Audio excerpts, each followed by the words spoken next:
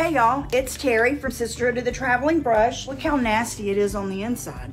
This was my husband's old drawer and like, what do men put in their bathroom drawers? I mean, it looks like he spilled motor oil in here.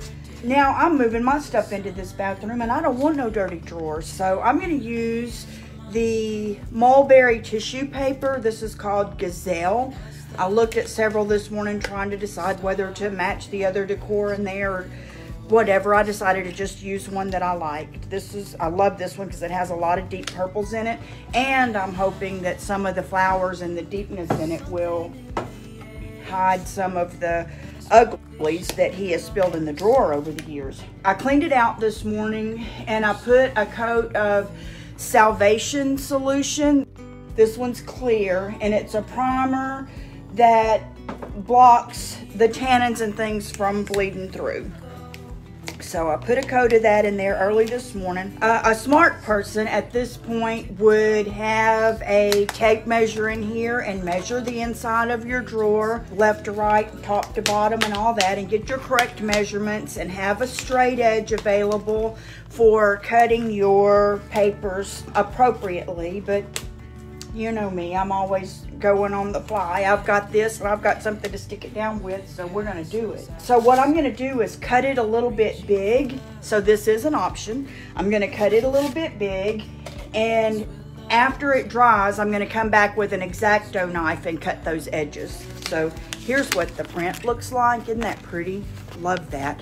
And this is called mulberry tissue paper, but it's like a thick dryer sheet type stuff. It's not, it's not like paper paper. I, I love it. It's definitely more like fabric. It's woven like a fabric, but it's not fabric. It is, I don't, I don't know, I don't know what it's made out of, but it feels like a really well-made dryer sheet. So what I'm gonna do is pick out the pattern. I'm gonna turn you here this way to where you can see more of that instead of me. And now we're about to check our measurements for, please let two of these in width be perfect. Two of these in width are near about perfect. And it's gonna go over the edge a little bit. Guess we can look at the writing. This is the top side. That's so gorgeous. If you know how much I love purple, you'll know how beautiful this is. But see how easy it is to deal with. I don't know whether to double up right here in the middle, then I already meet the edges. I think that's what I'm gonna do. And choose a side to start with. I really like that lighter flower showing. Can y'all see that? Yep. So I did bring an ink pen in here for all the good. I don't know if it's gonna do good or if it's not gonna do good. But we shall see. And I'm just lining it up with the edge and with the top edge. So that all that's really gonna leave me having to, if my drawer is square, and it just depends on how old your house is, whether things like that have settled. But that's why we custom mark them. And I don't know whether I'm gonna be able to see this pin mark or not. But it's gonna make a good sharp fold in here, even if not. And I'll be able to see that fold when I'm cutting. And remember, I'm gonna or the intention is. I may be lying. I may cut it right on this in just a minute. But I, have got a lot that I want to do today, so I'm not going to spend a tremendous amount of time on this. And I just wanted you to see where it could be done pretty quickly. Actually, my ink pen mark showed up pretty good. I don't know if you can see it, but it's there. And I'm going to cut right on it. And the plan is, here's my plan the plan is now I'm going to try to cut it to be an exact fit there. And if it doesn't, I'll come in with a small brush and touch up with purple paint and you still won't be able to see that I messed up. How about that? Move forward and worry about that later. That's, that's the plan.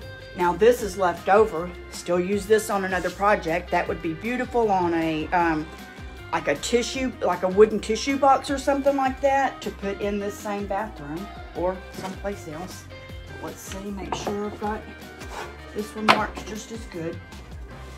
And when you're decoupaging this, it, you just use whatever. Like I'm gonna use the DIY liquid patina because I had some and I had some open, but I could have just as well used Mod Podge or whatever. Normally I would probably do this with a chip brush, but guess what? No chip brush. No chip brush in here this morning. So I'm gonna use this is a like a French tip brush. This one's from Dixie Belle. I have these for sale at my store, but I'm thinking this will do good getting in the corners for me. So what I'm gonna do first is just put, I'm gonna turn this around where you can see over here. There you go. And I'm just gonna slap some of this in here. I'm gonna do this first side first since we're doing this with two different pieces.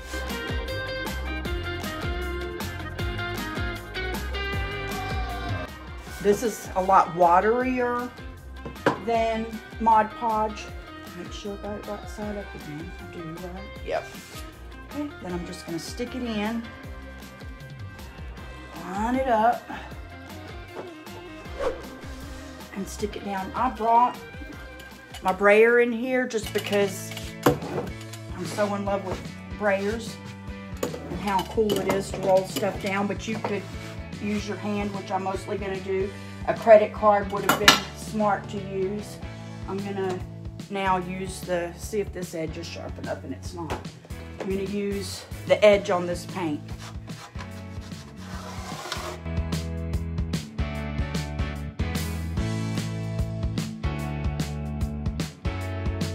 This stuff's gonna dry clear, so it's not bothering me that it's going up on the side there.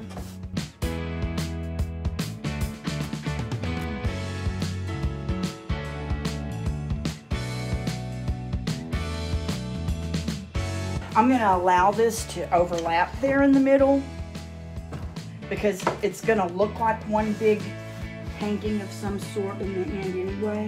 So now I'm gonna go back to that seam make sure there's plenty right there.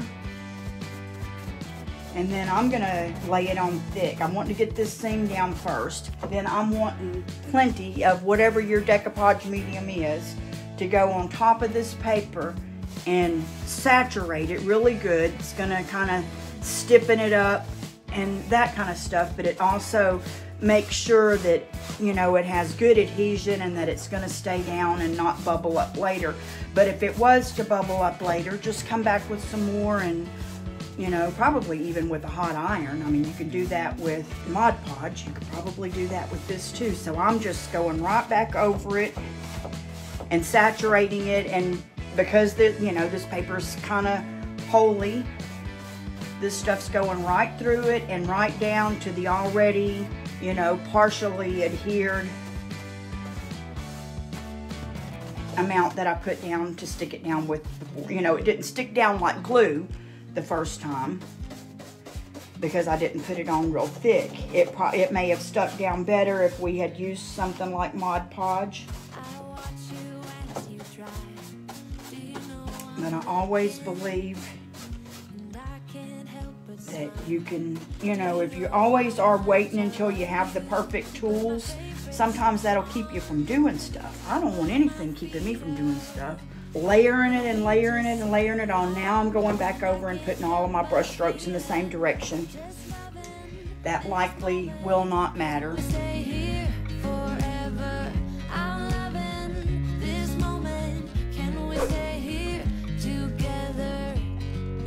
Could stop the time, don't you know that I would? Cause I'm just loving this moment. Can we stay here? And you don't need a primer for this. I needed a primer because I was trying to hide all the ugly, who knows what greasy contraption of stuff that my husband had had in this drawer.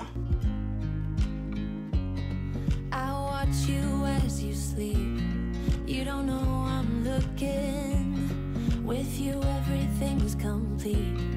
Do you know how much I love you? You can sand it and distress it, paint over it, do anything you want to. It would look very pretty. Uh, paint it around the edges and then paint it over it just a little bit. But there you go. I don't know how long that took us.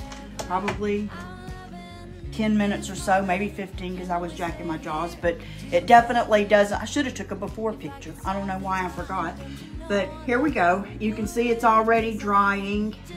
An hour from now, it'll be dry. I'm gonna give it until, you know, probably five or six hours, something like that, to be good and dry. And by tonight, my hairbrush and toothbrush and all that'll be stored in this beautiful drawer. My favorite drawer in the house, I'm sure. So thank y'all for watching. If you have any questions about it, just let me know. Thanks. Bye.